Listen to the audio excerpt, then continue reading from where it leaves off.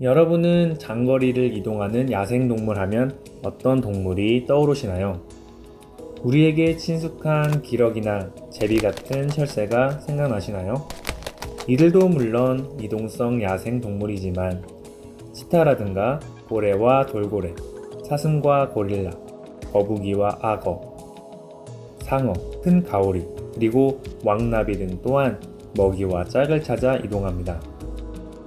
그리고 이러한 이동성을 가진 종은 국경을 넘어가는 일이 많죠. 이렇게 국경을 넘어서 이동하는 야생동물을 보호하려면 역시 국경을 넘은 협력이 필요하기에 국제사회는 이동성 야생동물 보호협약, 줄여서 TMS를 1979년 채택하였고 이 협약은 1983년부터 효력을 발휘하였습니다.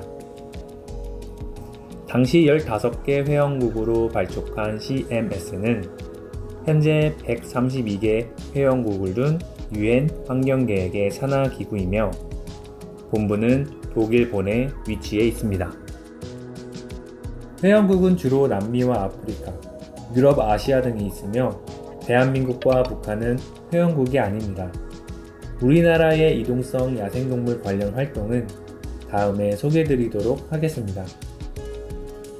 CMS의 주요 기구는 당사국 총회, 상임위원회와 그 산하 워킹그룹, 과학협의회와 산하 워킹그룹, 그리고 사무국입니다.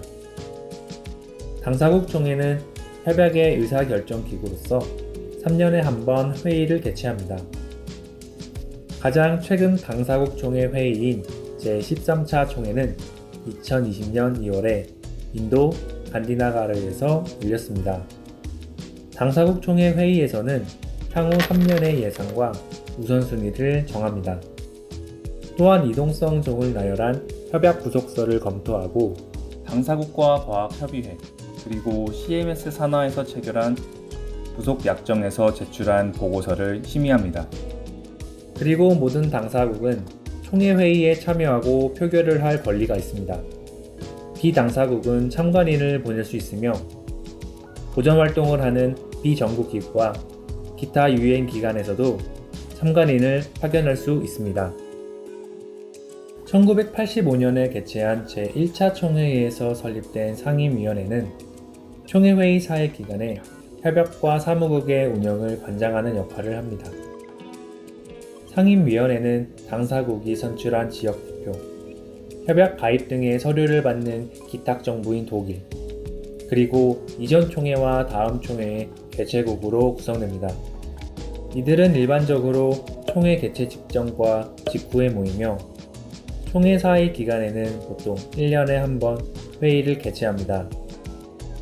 가장 회원국이 많은 유럽과 아프리카는 각각 3명의 지역 대표를 선출하며 중남미와 카리브해 지역은 2명, 아시아는 2명, 그리고 오세아니아가 1명의 대표를 두고 있습니다. 과학협의회는 과학적 사안에 관한 기술적 자문을 하는데요. 상임위원회와 마찬가지로 산하의 워킹그룹을 두고 있으며 워킹그룹은 지역, 종, 주제별로 나뉩니다.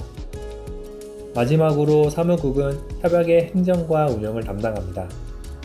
이렇게 CMS의 개괄과 구조를 살펴보았는데요. 다음 화에서는 협약의 주요 규정을 알아볼까요? 본 영상은 환경부 국립생물자원관의 주최로 만들어졌습니다. 구독과 좋아요 버튼을 눌러주세요.